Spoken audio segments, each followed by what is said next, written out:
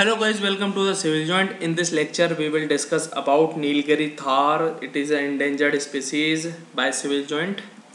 Start करते हैं endanger species है गाइज़ आई के according international union for conservation of nature इसके अकॉर्डिंग ये इंडेंजर स्पीसीज है याद रखिएगा हैबिटेट इसका है ओपन माउंटेन ग्रासलैंड जो अपने माउंटेन के ग्रासलैंड होते हैं उधर पाया जाता है साउथर्न वेस्टर्न घाट जो माउंटेन रेन फॉरेस्ट है, ठीक है साउथन वेस्टर्न घाट जो इंडिया है, ये वेस्टर्न घाट है, ठीक है वेस्टर्न घाट का जो साउथर्न एरिया है, ठीक है, वहाँ के माउंटेन जो एरिया है माउंटेन फॉरेस्ट है, वहाँ ये पाया जाता है। इंडेमिक है नीलगिरी हिल्स का और southern portion of Western Ghat का मतलब इंडेमिक मतलब वहीं पाया जाता है और वर्ल्ड में कहीं नहीं पाया जाता, याद रखिएगा।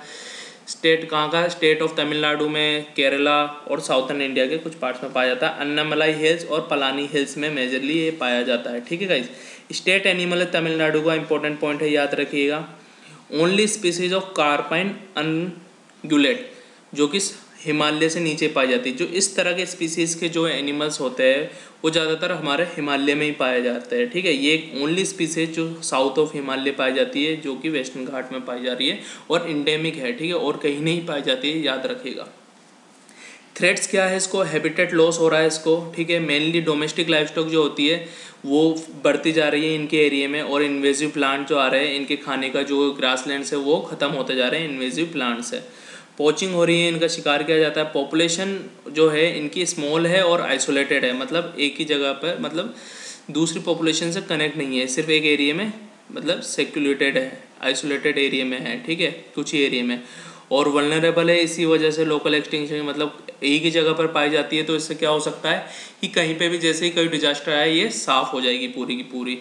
मैक्सिमम ये सबसे ज़्यादा लार्जेस्ट नंबर में पाया जाता है इराविकुलम नेशनल पार्क है। वहाँ पर ये पाए जाते हैं और उनकी पॉपुलेशन तीन सौ इंडिविजुअल पाए जाते हैं, वहाँ पर एक साथ, ठीक है?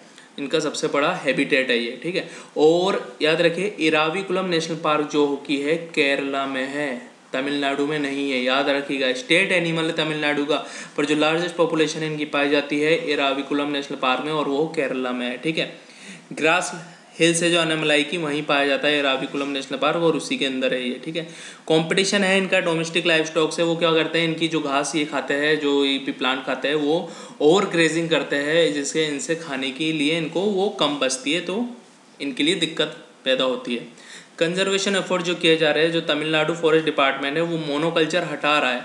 कहाँ से? नियर जो प्रोटेक्टेड एरिया है, वहाँ से मोनोकल्चर हटा रहा है, जिससे इनके लिए जो हैबिटेट है, इनका प्रोटेक्ट रह सके और जो ये स्पीसीज जिस स्पीसीज़ के प्लांट ये खाते हैं, वो भी प्रोटेक्ट रह सके। इराविकुलम नेशनल पार्क है, मैंने बता दिया होम टू लार्जेस्ट पॉपुलेशन जो कि केरला में है, पर स्टेट एनिमल तमिलनाडु का है। शेड्यूल वन में प्रोटेक्टेड है ये wildlife protection act nineteen के। ओके गाइज़ याद रखिएगा इंडेंजर स्पीसीज़ है और इंडेमिक है, कहाँ की?